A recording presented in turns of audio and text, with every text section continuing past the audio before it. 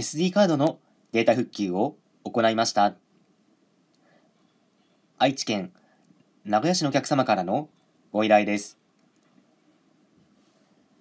SD カードを使用していたビデオカメラは、ソニー HXR NX5J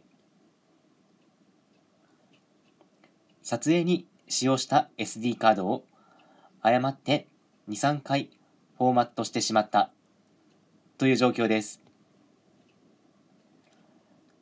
データ復旧処理を行い、25分の動画データの復元に成功しました。また、テレビで見られるブルーレイに変換してお渡ししました。